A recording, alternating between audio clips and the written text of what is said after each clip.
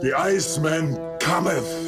The two most common video requests that I get are to turn a medical eye onto the keto diet or the Wim Hof method. And whilst both of those things interest me, thus far I haven't made a video about either because I didn't feel I could add anything to the already existing very large volume of information that's available on YouTube and the internet. But then two things happened. Number one, I made the acquaintance of Scott Carney, best-selling author who knows the Wim Hof method inside and out. And number two, CuriosityStream allowed me to use some of their footage from a documentary series about about humans who push themselves to the limit, including, amongst others, Wim Hof. They are supporting this video, so please go and check out the rest of the series and also stick around for the message at the end of this video. So I figured this was a golden opportunity to make my first video which is a direct response to something you guys have asked for.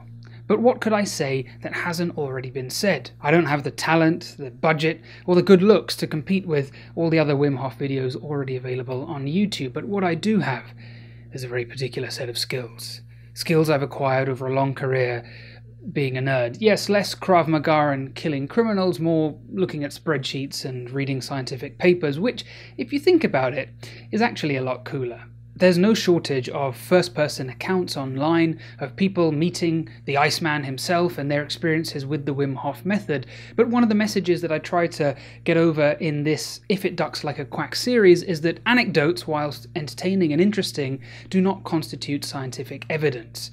And that's what I'm after in this video the Vice or Yes Theory videos about the Wim Hof method are fantastically watchable and very entertaining, but they are full of uh, grossly inaccurate scientific statements. If you want a scientifically accurate and compellingly written account of not only the Wim Hof method but the grand philosophy behind it, then I highly recommend having a listen to Scott Carney's What Doesn't Kill Us, and I'm very pleased he'll be speaking to us shortly.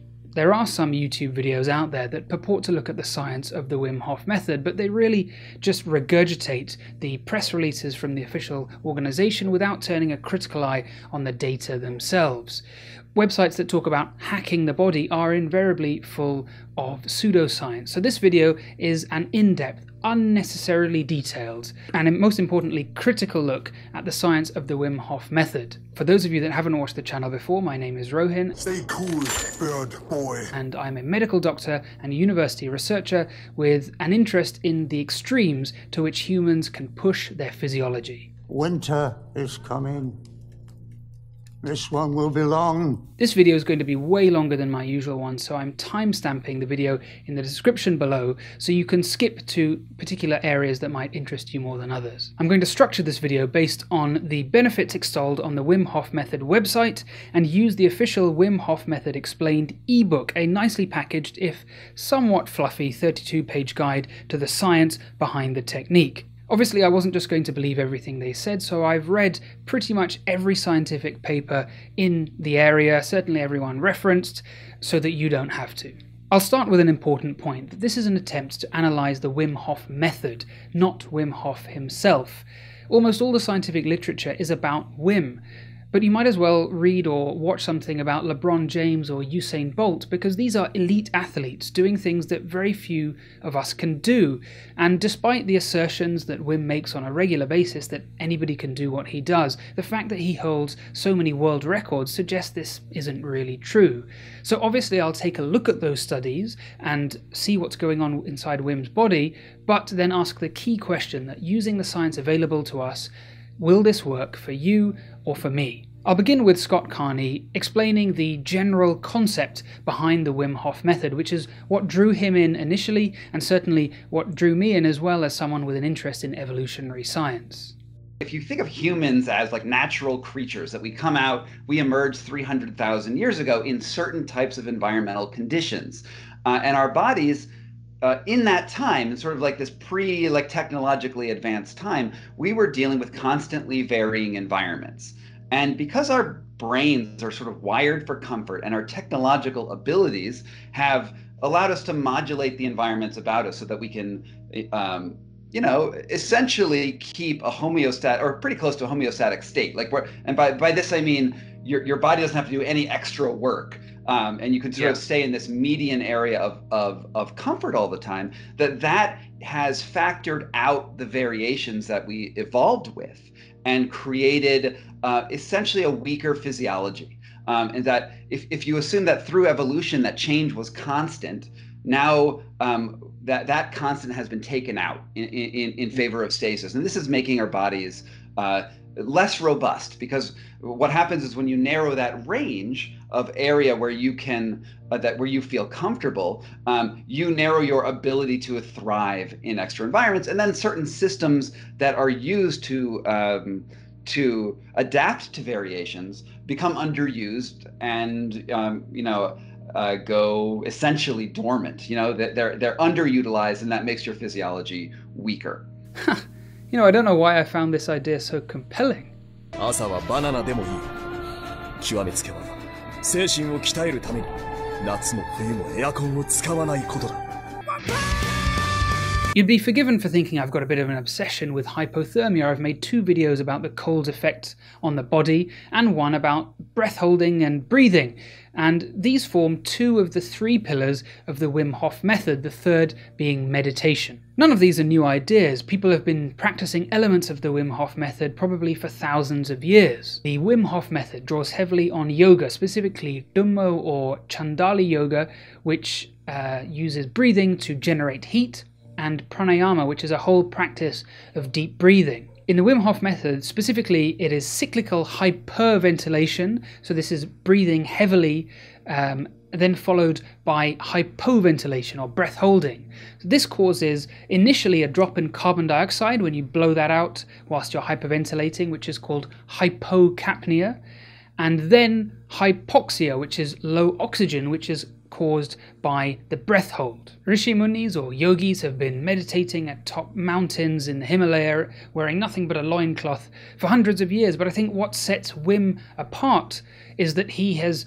happily invited scientists in to study him and this makes a welcome change from a lot of the other gurus who are out there and unwilling to back up what they say. Because in the absence of scientific study, you have people like Gwyneth Paltrow and the whole multi million dollar wellness industry converting what should be rational scientific discussions about uh, the potential benefits of something like yoga, meditation, or the Wim Hof method into conversations about communing with the cosmos and crystals and all kinds of rubbish. I also asked Scott, uh, who spent much of his career debunking false gurus, what set Wim apart from some of the charlatans he's met in the past? So when I first met Wim and first heard about him, he was making claims that were way too grand, right? That his breathing method, his cold, would cure basically everything under the sun. And this is what happens in the wellness industry in general. They make claims that are often far too big. Um, but um, he also made these claims that you I would be able to like control my body temperature in the snow and do you know more push-ups and things like that and uh, i figured that you know you're you're if you're if you're wrong about something you're going to be wrong about everything um, go there try his method and i was um, i mean i was really shocked that uh, not only that it worked, but it worked very quickly. Like I adapted to a cold environment within the matter of a week. You know, I was doing things that were unexpected to me, which was, you know, I was living in Los Angeles before, and then I was climbing up this mountain in Poland. You've probably seen the videos. You'll probably show some of these videos um, of people like going shirtless up the mountain, and I felt really warm, and that was very counterintuitive. And I think because the Wim Hof method is very quick um, it, it, it has the ability to change someone's mind about their expectations for their own body very quickly. And I think that sends very powerful messages, not only to you know about your own personal physical limits but i also think that it, it, it creates sort of a, a, a, new perspective on the world in general about robustness about your ability to interact with things and about you know interestingly to control parts of my body that i did not think i had control over, or at least influence parts of my body that I couldn't influence. Uh, and that was really remarkable. So let's get to the science. Let's kick it. This is going to be our running order. Number one is how does Wim resist the cold? What's actually happening in his mind and body? Number two, what's all this business about brown fat? Number three, do breathing exercises really have a measurable effect on physiology? Number four, probably the most outlandish claim about the Wim Hof method can it actually affect your immune system? And number five, can the Wim Hof method prevent altitude sickness? The body regulates its temperature via the central nervous system and the endocrine system, mediated primarily by the hypothalamus, the anterior hypothalamic nucleus to be exact. However, the sensation of cold can be modulated in the brain. And I think we've all experienced this. If the adrenaline's pumping for whatever reason, you don't really feel cold. But once you calm down, you realize it's quite a chilly day. The ancient practice of Tummo meditation by Tibetan monks is said to allow practitioners to generate heat from within. There's not a great deal of evidence about it out there, but luckily there is one very useful study from a few years ago which showed that the monks generate heat from the physical work of forceful breathing. But this on its own could not be maintained for very long without the associated meditation, so you need both elements to really uh, get the benefit from it. And we'll see this pattern repeated in tests of the Wim Hof method. A team out of Wayne State in Detroit performed a key study on Wim by scanning him whilst he was cooled by a clever suit using an fMRI scanner to detect the following two changes in Wim's brain. Number one, Wim was able to activate primary control centers in an area of the brain called the periaqueductal gray to modulate the sensation of cold. Number two, higher cortical areas associated with introspective concentration and focus lit up. The major potential confounder here is that the sudden changes in carbon dioxide levels that we mentioned earlier caused by hyperventilation uh, can affect blood flow. Carbon dioxide is a potent vasodilator, it opens up blood vessels.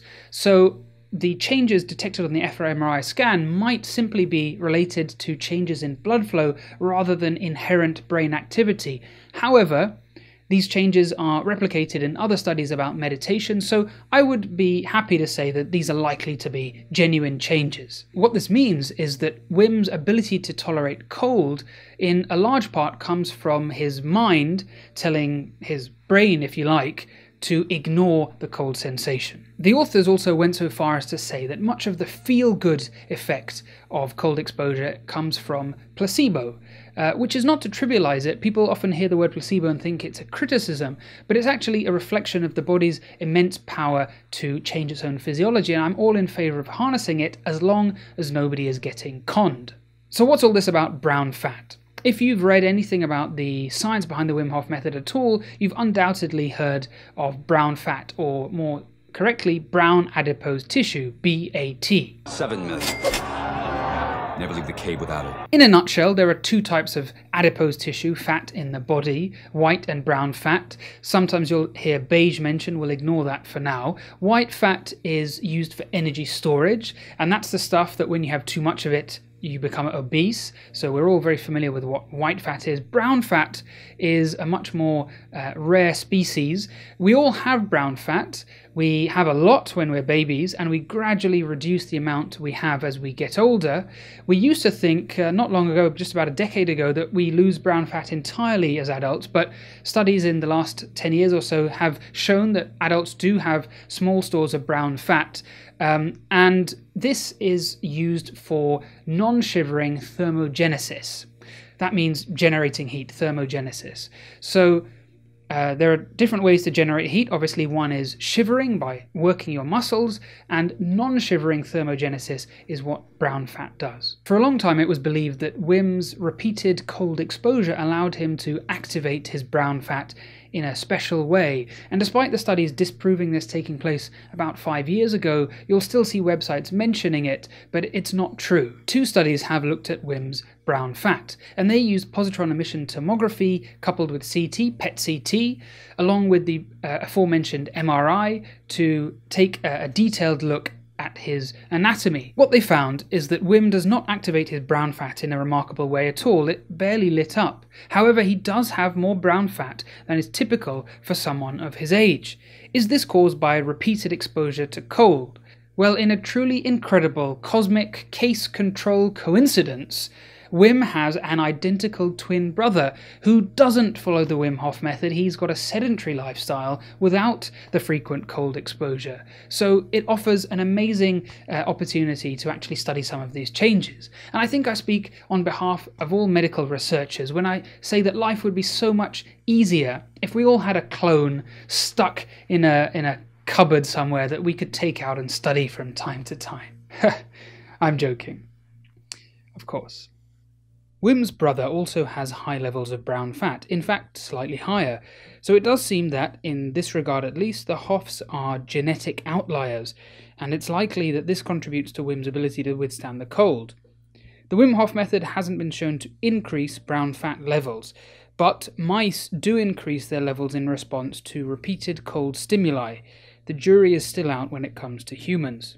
The research showed that Wim's muscles of breathing, the intercostals that are between your ribs, lit up like Christmas trees, generating large amounts of heat. Now remember the pattern that we saw with the Tibetan Tummo monks, exactly the same, that uh, both Wim and the monks are generating a lot of heat from the physical work of breathing. And if you think about all the blood coming back into the chest, going through the myriad capillaries in the lungs, this is an effective way to maintain blood temperature by exchanging heat from these muscles into the bloodstream. It's exactly the same as what happens when you go for a run on a cold day. Within a few minutes, your body is generating enough heat to make you feel hot even though the temperature's cold. So it's nothing very exotic, but it's effective. And I think this is a really nice way of explaining in a small part how Wim does what he does. This graph is quite striking. It's skin temperature. The blue circles are normal controls, normal people, and the hollow red circles are when Wim is just relaxed. He follows the same cycle of his skin warming and cooling as the suit that the uh, participant is wearing is warmed and cooled. However, the filled red circles at the top are Wim when engaging with the Wim Hof method, and as you can see, his skin temperature barely changes irrespective of whether the suit is hot or cold. So the authors concluded that without any outlandish physical findings, the majority of Wim's ability to tolerate cold actually comes from his mind and activation of the sympathetic nervous system, which we'll come on to in a little bit. Take a deep breath because now we're going to talk about the breathing aspects of the Wim Hof method. For healthy people, it's the level of carbon dioxide in your blood and your lungs that determines your urge to take a breath. Hyperventilation, as we mentioned earlier, blows off carbon dioxide at a much higher rate than normal, which is why you can hold your breath for much longer after hyperventilating, because it takes that much longer for carbon dioxide to reach the level at which your body feels the urge to breathe. Carbon dioxide is also a weak acid, so reducing the amount of carbon dioxide in your blood transiently makes your pH go up, making your blood slightly more alkaline. Uh, Rhonda Patrick interviewed uh, Pierre Capel, as, as well as Wim actually, and they focused on the fact that blood pH was noted to rise, i.e., becoming more alkaline with deep breathing. And confusingly, uh, Dr. Patrick and Professor Capel seemed quite wowed by this observation um, which is odd because any doctor who has treated a patient with a mild asthma attack, severe pain, or even a panic attack, some reason that's causing them to hyperventilate, will have seen a markedly elevated pH. Making your blood slightly alkaline with deep breathing is nothing noteworthy at all, and it's seen in emergency departments on a daily basis. An arterial blood gas is a special type of test looking at the partial pressures of different gases as well as the acid base status of somebody's blood. And a normal healthy person at rest will have an ABG result that looks something like this. pH is normally 7.35 to 7.45. Oxygen is say 14 and carbon dioxide 4.5. This is in kilopascals. I'll put freedom units in later. If that same person hyperventilates for maybe 10 minutes without any special training, their ABG might look something like this.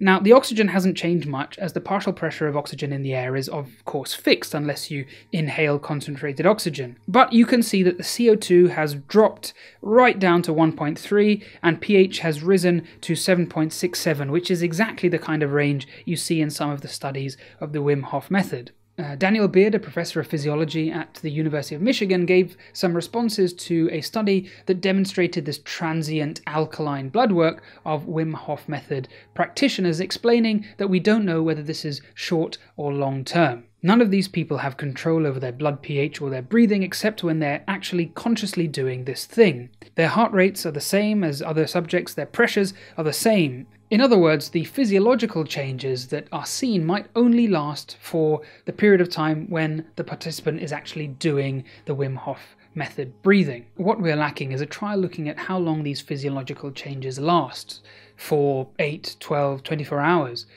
the things like pH won't last long at all because your body has such effective homeostatic mechanisms taking you back to a normal range, but some of them may be longer term.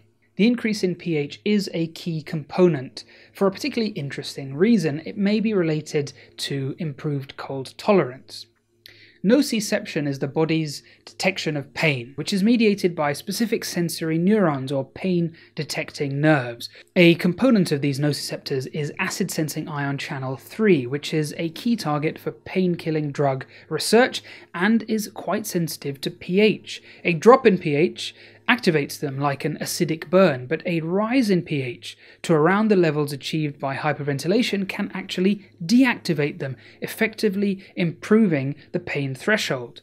So, this is actually a pathway that explains why deep breathing can improve tolerance to a noxious stimulus like cold. The Wim Hof method employs not only hyperventilation but hypoventilation, breath holding, and this achieves a transient hypoxia or low oxygen level in the blood, which appears to kickstart the sympathetic nervous system, the fight, flight, fright response. Try saying that fast.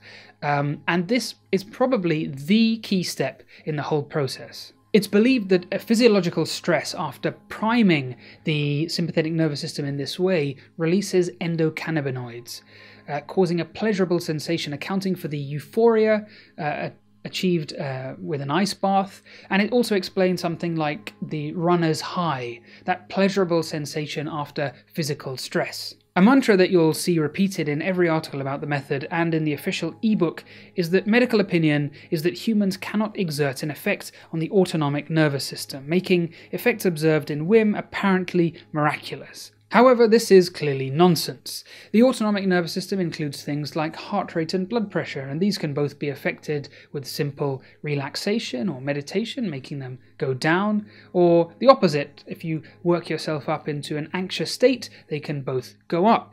Or autonomic nervous system also includes things like sneezing, and you can overcome the urge to sneeze with a bit of practice. In Scott's book, he more accurately states that we didn't previously think that a person could voluntarily affect their immune system. Although even that comes with a slight caveat in that that's exactly what the placebo effect is. Marked changes in immune system response can be observed uh, purely based on a person's belief about what the outcome will be, uh, even with an inert substance. Um, whether you want to call that involuntary or conscious, or the power of positive thinking, is entirely up to you. One of the marquee claims about the Wim Hof method is that it can modulate the immune system. And this is backed by the most compelling of all the trials I read, as it looked at real, normal people, not Wim Hof himself. 12 people were trained for 10 days in the Wim Hof method and tested against 12 people without training. The study protocol was the same as a study performed on Wim himself earlier on. Participants were injected with an endotoxin, which is a component of E. coli, a common bacterial infection which is used in experiments to produce a transient, unpleasant, but ultimately harmless syndrome of infection. In comparison to the control group, the people who didn't have any training, the intervention Wim Hof group uh, reported fewer flu like symptoms after the injection, things like headaches or malaise, but these are subjective, so I'm not sure they really tell us very much. However, some objective measurements were taken as well. The intervention group had a similar response to Wim when he was tested. Namely, in comparison to the control group, they had a transient respiratory alkalosis, as we mentioned before, which is caused by hyperventilation, a markedly elevated adrenaline level, but no difference in cortisol, the stress hormone between the groups, increased levels of anti inflammatory cytokines, probably released in response to the adrenaline, things like interleukin 10, and the levels of pro inflammatory cytokines were lower, things like TNF alpha and interleukin 6 and 8.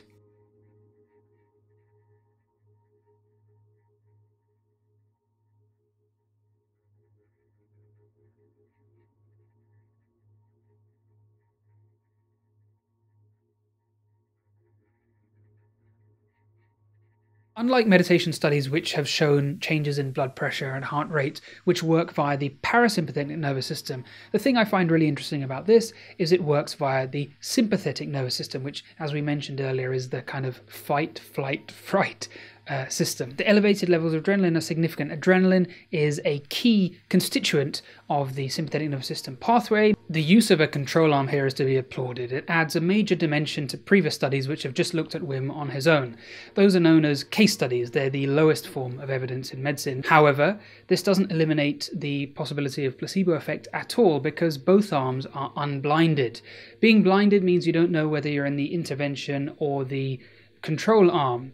You may have heard of a double blind trial. That's the gold standard. That's where the clinicians, the doctors, and other healthcare professionals involved in a trial also don't know whether a participant is in the intervention or the control arm. Obviously, none of that's possible here because you can't blind people to whether they're in an intervention arm if the intervention involves 10 days worth of ice cold water and meditation. And indeed, the authors wrote a follow up paper about how optimism and the mental expectation of the outcome affected the result, which is the very definition of the placebo effect. Let's take a look at a clip from the Curiosity Stream documentary as well. Did Wim Hof release more of the stress hormone than the two students, as he claimed he could? For most people, altering one's metabolism at will is impossible.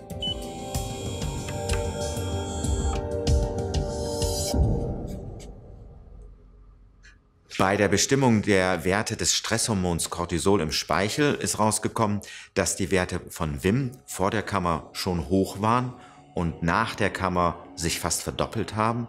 Im Gegensatz zu den Werten von den Studenten, die sowohl vor Eintritt in die Kammer niedrig waren, aber auch der Anstieg durch die Kammer erzeugt, war relativ gering. I hate when people talk during the movie. We know that long term stress hormone is very damaging. Chronic stress or conditions like Cushing's disease, which is a pathological elevation in cortisol, that stress hormone that we mentioned earlier, can have hugely damaging effects to health. But short term, controlled stress appears to have tangible benefits. The concept of good and bad stress is something that Scott goes into in a, quite a bit of detail in his book. It's the reason that uh, things like those hardcore assault courses have exploded in popularity in recent years. Lavender body wash make my pores tingle. Our lives have become unrecognizably comfortable in comparison to 99% of our existence on this planet, and whilst we're familiar with testing ourselves physically, we rarely expose ourselves to extremes of temperature.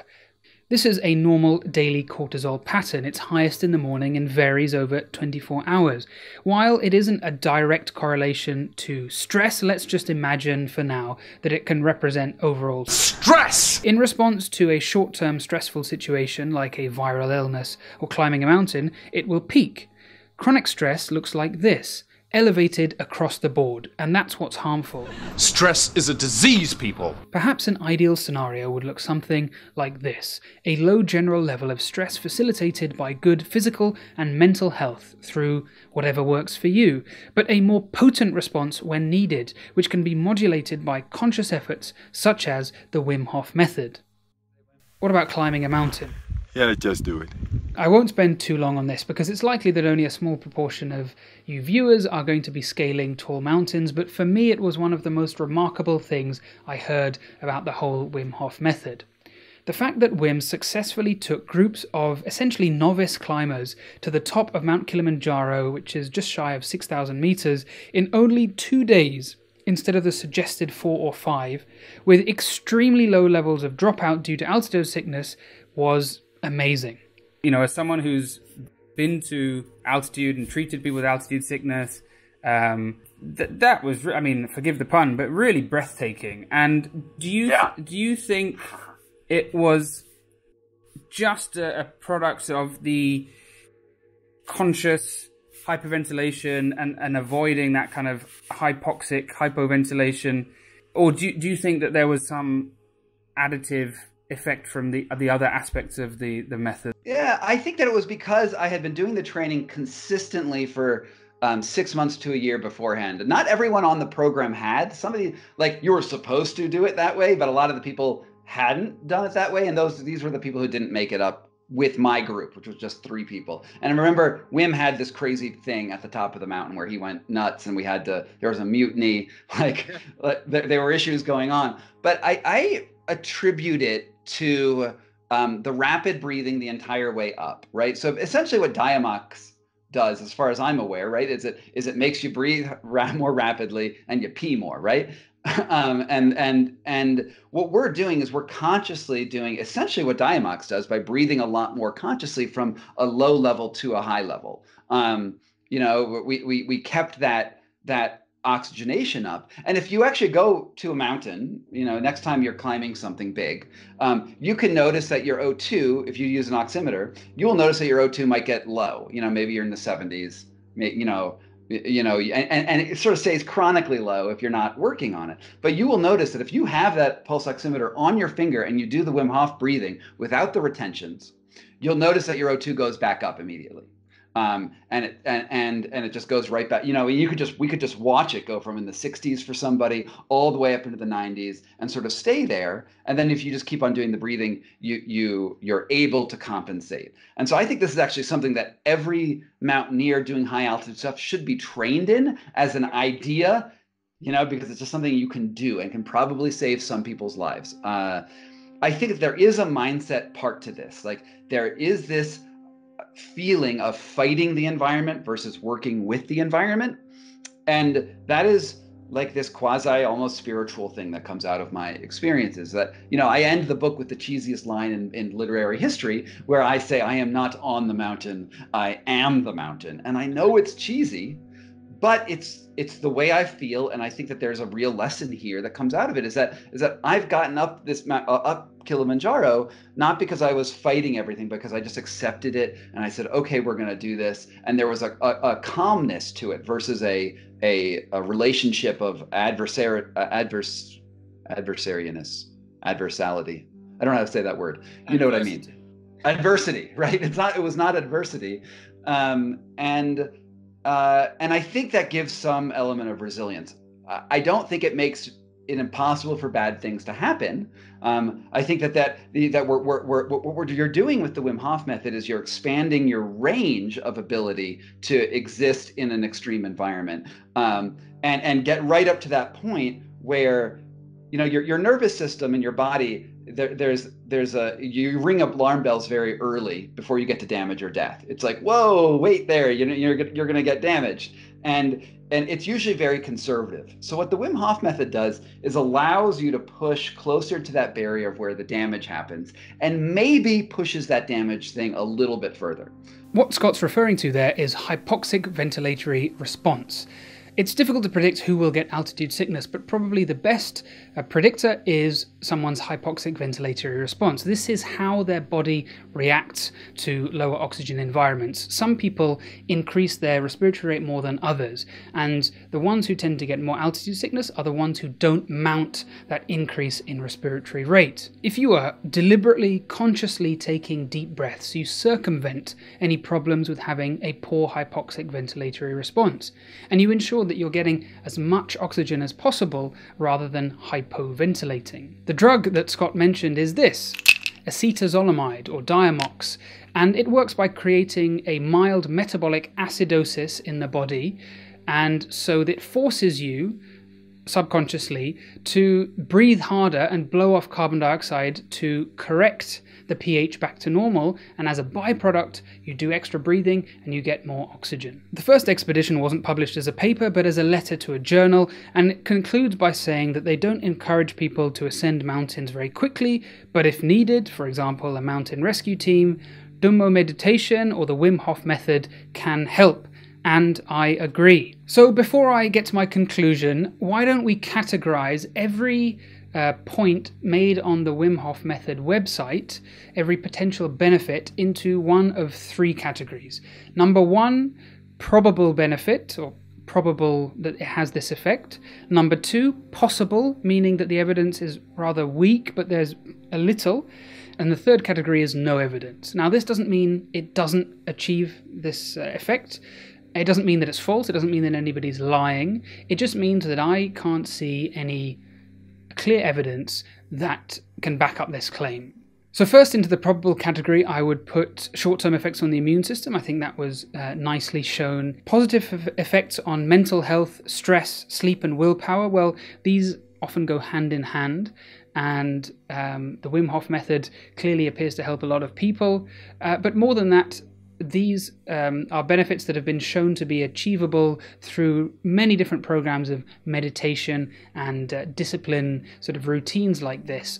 Arthritis relief, I think more research needs to be done here, but um, cold exposure, this is out with the Wim Hof method, looking at um, other research uh, involving cold exposure does appear to have some beneficial effects on inflammatory types of arthritis, although, uh, again, I don't know how long term some of this is. Next in the probable category, I'm putting asthma and COPD management. Not a cure, but management. And the reason I'm confident of putting these here is because we know that one of the best treatments for people taking control of their asthma and COPD, COPD, sorry, is chronic obstructive pulmonary disease, chronic lung disease like emphysema, is respiratory physiotherapy. And these are specialist physiotherapists who work with patients with these conditions to teach them uh, coping mechanisms and ways to uh, regulate their breathing to prevent getting into those episodes where they become very short of breath. So it's no surprise that a program which uh, has breathing controllers central to it uh, will be beneficial. Also, in the probable category, I'd put improved cold tolerance and finally having an effect on reducing the likelihood of altitude sickness, which for me is quite astonishing. In the possible category, I'd put improved energy because this is just a bit vague and I don't really think it's well defined. Improved workout recovery, well, this is a difficult one. There's been a lot of work to do with ice baths after training. I mean, this is something that was routine when I used to do athletics years ago. It's kind of fallen out of fashion a little bit. Um, evidence is a little conflicting. And then I'd put arthritis relief. In the no evidence column, I'm putting long term effects on the immune system. Sporting performance, again, this is a bit uh, wishy washy. It could have gone in the possible column, really, in terms of just overall improved physical fitness. Why not? Um, but I don't know if we've seen any hard evidence that the Wim Hof method has caused long term improved sporting performance. Then I'm putting fibromyalgia and chronic Lyme. These are two conditions which are very hard to define, they're very hard to treat, uh, and um, a lot of people self diagnose. So we're treating a very heterogeneous uh, patient population. And I've seen classes uh, about the Wim Hof method specifically advertised for both fibromyalgia and chronic Lyme, which makes me a little bit uncomfortable because I can't really see what that's based on. And finally, Parkinson's. Again, this is something that I feel a little uncomfortable saying that the Wim Hof method will be beneficial for because we really don't have any evidence to say that. All right, everyone, chill. So, in conclusion, I know this has been my longest video ever and probably will remain my longest video. Uh, so if you've skipped directly here from the introduction, then shame on you, but I probably would have done exactly the same thing. All I ask is that if you have found this video useful or any of my other videos, I don't have a Patreon account or anything like that, so please just stay watching till the end of the video uh, for the sponsoree. That's all I ask. This is Ice T. Get to the point. The Wim Hof method does definitely appear to offer significant health benefits. The effects appear to be mediated by a good stress, activating the sympathetic fight, flight, or fright response in a controlled way through breath holding and again through cold exposure. It's difficult to tease out which elements do what, although perhaps that's not important if you're going to do them all anyway but cold exposure probably has the least evidence, with a committed program of meditation and breathing exercises actually having a body of hard science behind them. Cold exposure with preceding sympathetic nervous system priming with the breathing is what is likely to help. Cold exposure alone is of questionable use, but of course that's not what the Wim Hof method advises. A major unanswered question is how transient some of the effects are, like the immune system modulation. We don't know if there is any residual benefit outside the period immediately after performing deep breathing exercises.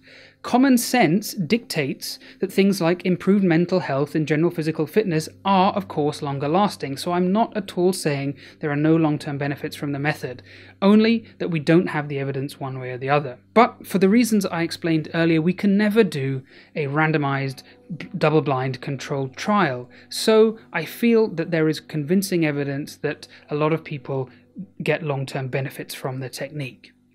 Is the Wim Hof method the only way you can access these benefits? Definitely not. But it's never claimed to be, and I think the reason it's been so successful is A, the charisma and feats of its creator, B, it's very simple, essentially free, C, it cuts through a lot of the mystical mumbo jumbo that sometimes comes packaged with other courses about meditation and breathing, which can't be said for a lot of the websites and videos based on the Wim Hof method. Uh, who add a generous helping of exaggeration. So, overall, I would have no concerns recommending it. What I might say to someone asking about it is give it a try. It has helped lots of people, and it's unlikely to cause harm if you follow some simple advice. Are you going to be able to accomplish the same feats as Wim Hof? No. But just because you're not going to become Michael Phelps, it doesn't mean you shouldn't take up swimming. You need major life realignment on a number of levels. Can a lot of the benefits be explained by the placebo effect? Yes, probably at least some. So you might wonder why I'm supportive of this versus other topics I've covered on this channel. Well, for the simple reason that as long as you follow the basic advice, the Wim Hof method has little potential for harm, unlike, say, a very restrictive diet, uh, and it's not trying to replace conventional medical treatment, unlike something like, say, homeopathy and naturopathy. And I think if either of those things are suggested, which I have seen on personal blogs about the Wim Hof method, then I would run a mile.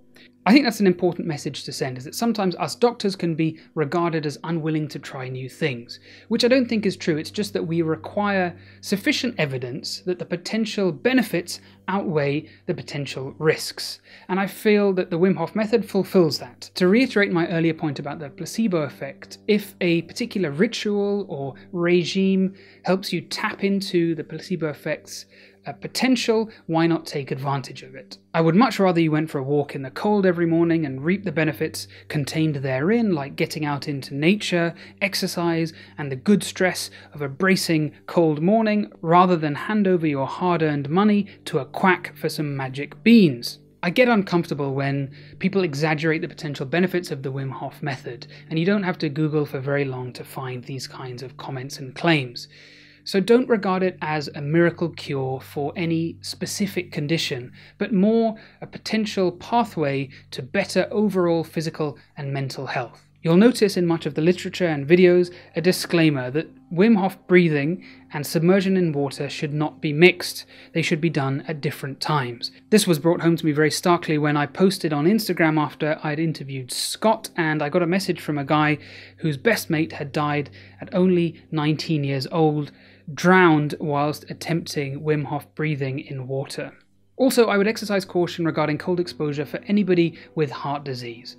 A buddy of mine did his PhD in cold air inhalation, uh, precipitating heart attacks, the reason that so many older people die shoveling snow every winter. So, if you're over the age of 50 or you have a background of heart disease, please consult your doctor before starting. The cold shock response is a phenomenon um, that kills people who fall overboard in cold waters. It effectively paralyzes you and causes a sharp intake of breath. So, sensible advice for everyone, irrespective of your initial health, is don't leap into Arctic waters on your first day. Take things slowly, and you should be fine. I'll do my best to answer any questions in the comments below, so please fire away. Um, feel free to share your experiences of the Wim Hof method. If you disagree with anything I have said, I'd be keen to hear from you, so please uh, do leave a comment. Thank you for watching this far, sincerely. This video wouldn't have been possible without the support of Curiosity Stream. If you want to support this channel, as well as get access to 2,500 high quality documentaries like the one uh, featuring Wim Hof, then if you sign up at the link below using the code MEDLIFE, you'll get one month absolutely free. You can watch the documentaries offline, and as a parent, I was also very excited to see that they have now got a kids section too, which is brilliant, as you're guaranteed safe educational material rather than on YouTube where there are all kinds of weirdos. I know people have come to expect jokes from this channel, and this video was pretty serious, so to make up for it, I filmed the entire thing not wearing any pants. I will pull Batman's heart from his body and feel it freeze in the hands.